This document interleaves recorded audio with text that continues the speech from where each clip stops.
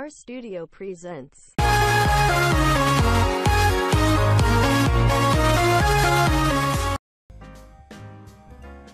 Andy Cohen is living his best summer as a first-time dad.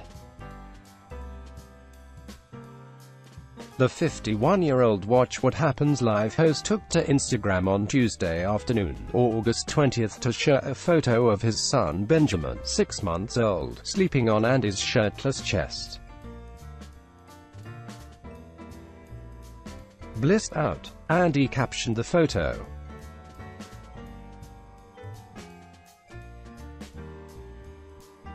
Andy welcomed Benjamin via surrogate back in early February. During a recent episode of WWHL, Andy Cohen was totally shook after he was asked out by a 22-year-old fan.